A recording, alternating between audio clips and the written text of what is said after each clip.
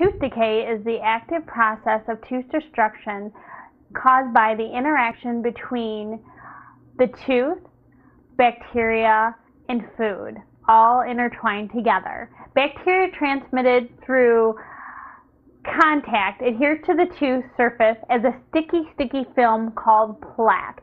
With the plaque, when food containing carbohydrates are consumed, the bacteria are unable to break down all the carbohydrates in the mouth, which then produce an acid, which the acids start to attack the enamel of the teeth. Every time the acid would attack the enamel of the teeth, it breaks the tooth down, which in turn causes the tooth decay. How to get rid of tooth decay? Use a fluoride toothpaste, floss daily, and um, brushing twice a day also helps reducing the um, tooth decay and seeing your doctor every six months.